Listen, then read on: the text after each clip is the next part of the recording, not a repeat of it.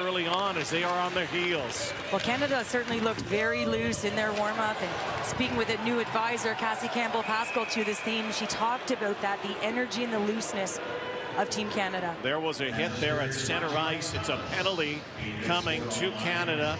Emily Clark's going to the penalty box for this hit. Oh, this is against Emily Matheson just along the boards and Clark just throws a little bit of the contact in the left shoulder into Matheson. So Canada starting really strong in the opening minute and 10 seconds of this game, but